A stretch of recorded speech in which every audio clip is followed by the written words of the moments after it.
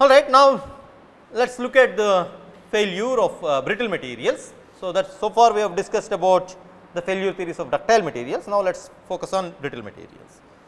So, here this specimen is a mild steel specimen which when pulled applied with a tens, uh, tensile loading then it breaks by shear at an angle. So, you see that it is not failing normal to the axis right whereas this guy is failing normally. So, that is you can actually for brittle materials I can demonstrate ductile materials I cannot right now.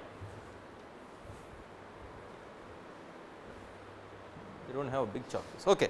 So, if I take this guy right if I apply if you see this is my so the, the failure surface is normal to the direction of application of my load. Why is that failing that way a brittle material? Did you understand what I am saying? Yeah, okay. Why is that failing that way? Normally the uh, ductile material fails at an angle 45 degrees that we have seen in your uh, mild steel testing that you have done in applied mechanics lab, right. So, why does it do this? What is the failure mechanism of brittle materials? Do they fail due to shear or due to normal strength? They fail due to normal strength, right? They fail by fracture. So, when, when you are applying this load, what is the plane on which you, you have maximum normal stress? The plane in which you are uh, applying the load and hence it has to fail this way. Okay? Fine. Now, I have to do another one. This is very small. Okay, let me try if I am able to. Yeah, oh, okay, thanks. All right. Now, you have this specimen.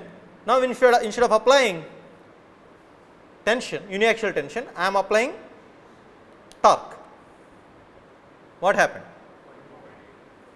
It failed at 45 degree angle. Why?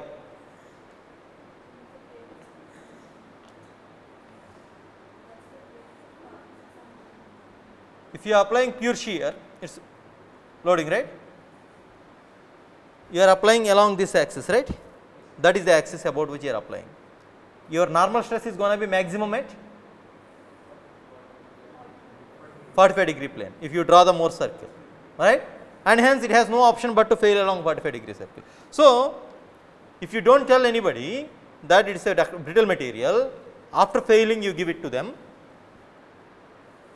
it is also possible that they might think that it actually failed by applying normal load because it is looking like as if it is a ductile failure if they do not look under the microscope because there is going to be some other thing that, I that, that, that will be happening at the microstructural level. So, by just by looking at the failure surface we can say it is a whether it is a ductile failure or brittle failure.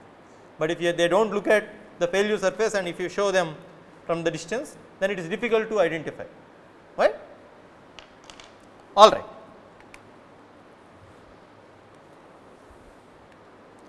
So, brittle materials fracture rather than yielding, they do not yield, they fracture. And the brittle fracture in tension is due to only normal stresses. Okay? And I have not shown what happens when you take a brittle material and apply a compression. When you apply compression, then also it fails not in the normal plane at certain angle. Okay? Why is that? Because in compression, the brittle materials fail due to a combination of normal and shear stresses when you are applying a compressive load. Okay? So, that is the difference they are not failing by the same phenomena when you are doing uh, uh, tensile load when you are applying tensile load and compressive load. So, in the compression both shear and normal comes into play whereas in tension they simply fail by because in tension they fail by fracture you can open up the cracks. In the compression the crack opening is not possible, but they fail due to a combination of normal, normal and shear stresses and hence you cannot use the same failure theory that you use for normal uh, loading scenario. And then, so a material certain times we have discussed in the last class that one of the assumptions then when we are writing the failure theories for ductile materials was that the yield strength in compression as well as in tension are the same right. Such a material is called even material. If it is not the same such a material is called uneven material. So, an even material will have same compressive strength as tensile strength whether it may be yield strength or ultimate strength it will be the same whereas for uneven material it will be different. Okay. For instance, you take cast iron, cast iron's compressive strength is much more than the tensile strength and that is precisely the reason why because it has good compressive strength cast iron is a preferred material for lathe beds right because there are it can resist compression much better. Okay.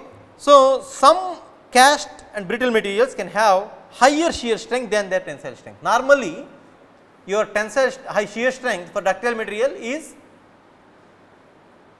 one half of the tensile strength right that is what we have seen. Usually for uh, ductile materials we have seen even materials the shear strength is one half of the tensile strength. Whereas, you can have some special materials which can actually show higher shear strength than tensile strength. There may be some other some materials which actually show such a behavior. Okay. So, you need to also know that the ductile materials although we have seen the class of ductile materials which show same compression as well as tensile strength, but you can also have materials which can have uneven strengths on the tension side and the compression side. Okay. So, uh, sometimes your compressive yield strength can be larger or smaller than the tensile yield strength.